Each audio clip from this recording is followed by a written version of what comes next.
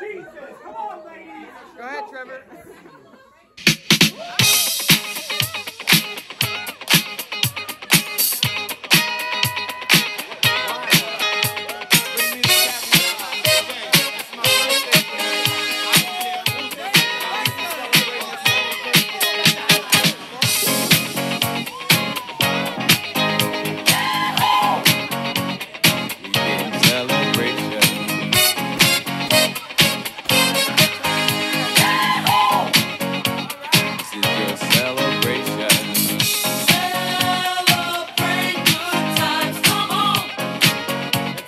Let's